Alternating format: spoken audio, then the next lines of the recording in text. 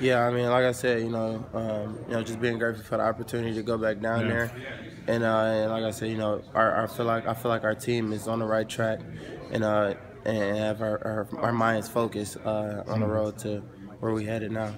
Is that I know the bowl win is super high on the list, or has been all year, to kind of check that off the list. Is that do you feel a lot of incentive, motivation, drive here for Uh, these next three, four weeks? Yeah, you know, just knowing that our senior class never won a bowl game, so you know it's going to be a high, uh, you know, a motive for us to, to go in into this game prepared, ready to go, and you know, and to execute. You know, that's our goal.